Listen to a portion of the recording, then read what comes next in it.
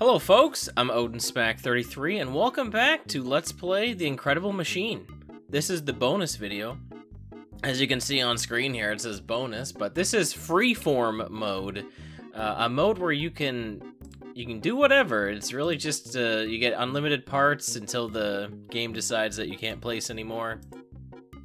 But yeah, you can place whatever, uh, including a lot of stuff you don't normally get to place in the game, like the various walls and whatnot.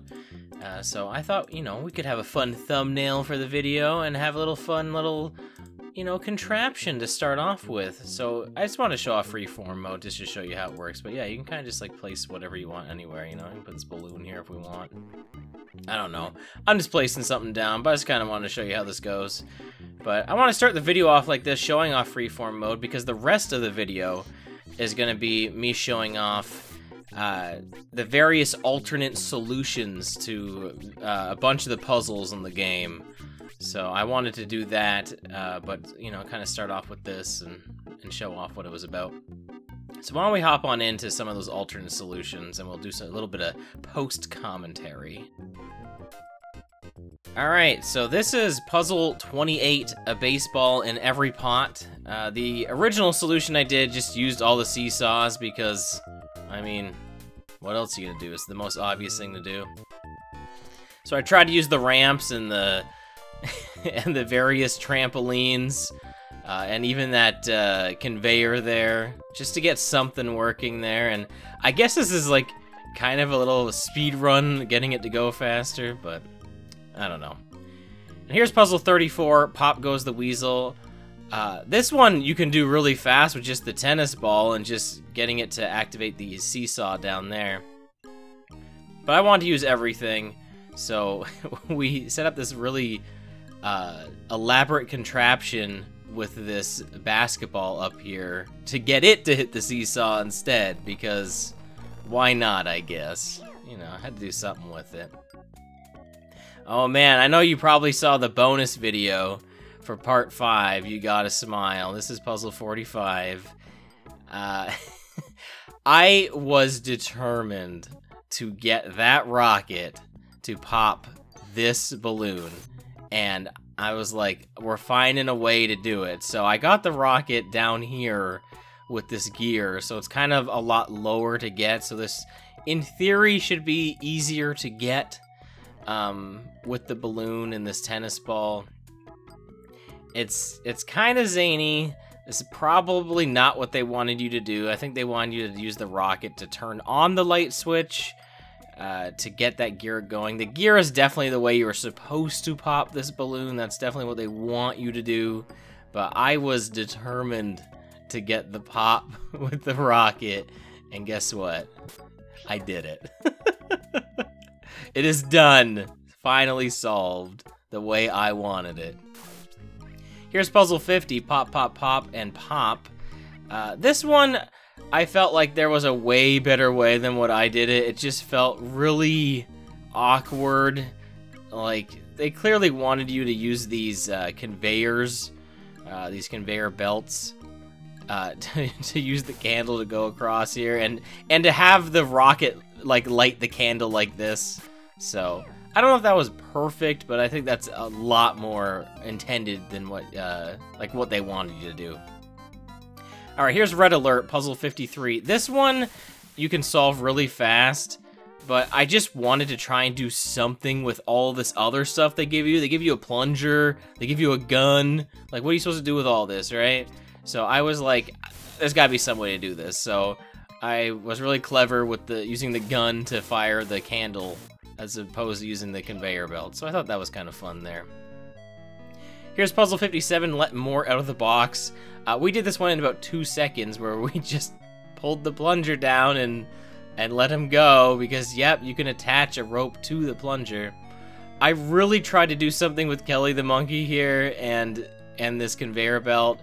I could not figure something out. I I was really trying. It wasn't working, so this isn't as elaborate as I wanted, but you know what? Kelly's trapped in the box now, so. Alright, here's puzzle 63, launch all the rockets. Uh, I mentioned this solution, but I don't think I actually did it during uh, the Let's Play. But uh, blink and you'll and you might miss it here.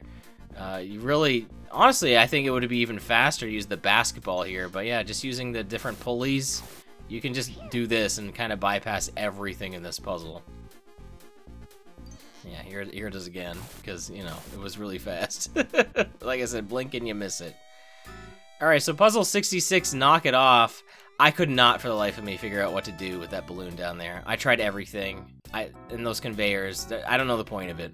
But guess what? There's a real quick way to solve this puzzle.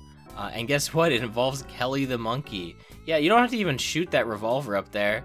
Uh, you can just use that baseball and just just knock it into the other baseball.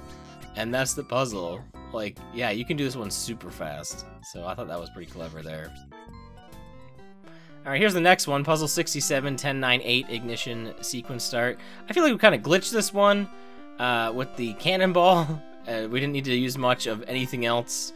So I was really determined to try and use most of this other stuff because, you know, it's it's there. You might as well. Uh, that trampoline underneath that balloon, I thought that may have been needed for the baseball. Uh, most definitely is not. so, you know, that's a, that's another way to do it there. Here's puzzle 70, Save the Bob Squad. Uh, this one we cheesed with the uh, with the Jack in the Box um, last time, where we just blocked the revolver with it. But I want to do something kind of fun here, so we used the bowling ball actually, so that the baseball couldn't get at the uh, the cannon. So I thought that was kind of clever there. That took me quite a bit to set that one up, but so you know, there's an alternate solution there. Alright, here's puzzle 71, the wooden shaft. I was convinced that that basketball was actually a bait. Uh, I was so close to solving this like this in the actual project. If I had just moved that fishbowl down like one one spot, um, we would have solved this uh, maybe how they intended it. I still didn't use a trampoline, but I still used most of this other stuff here. So, felt a, felt a little bit better about this solve, honestly. Felt a little more on brand what they wanted. So puzzle 72, laying down a bunt. This one, again, very quick. Uh, you can solve this even faster, too, than what I'm attempting to do here. Because actually, I don't think I mentioned this during the project, but these uh, Mort the Mouse generators, if a cat isn't close to one, they just run. Like, you don't have to even hit it. So if we just, if we move this closer um, to Pokey, we wouldn't have to even, like, use this cannonball to move Pokey the cat here. Like, that would have worked without all that, but, you know, a little more fun. Here's puzzle 75, blow up. Uh, I mean, you know what we want to do. Uh, during the project, I could not get the uh, candle lit in time uh, to light that last dynamite.